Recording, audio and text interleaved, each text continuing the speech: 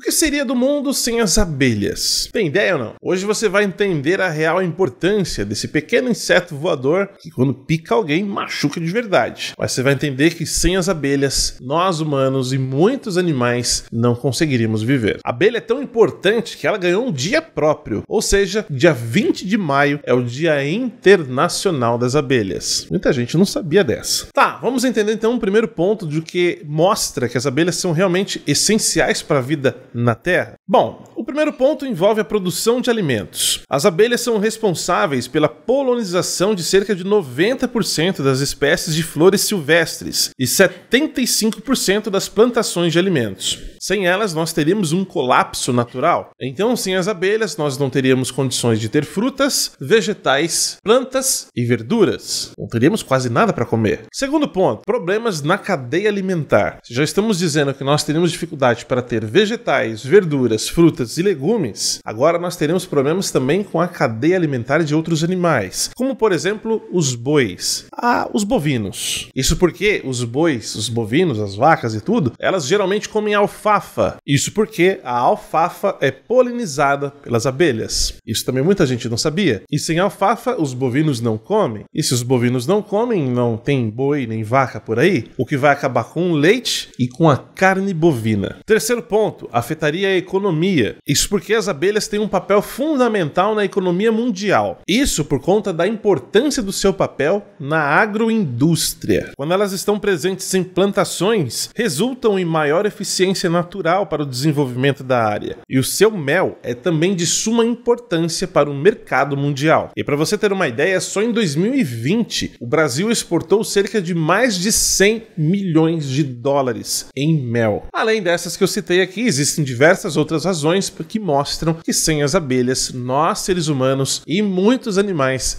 não teriam menor condição de viver. E a má notícia é que as abelhas estão começando a ficar extintas. Olha um alerta de preocupação para o futuro aí.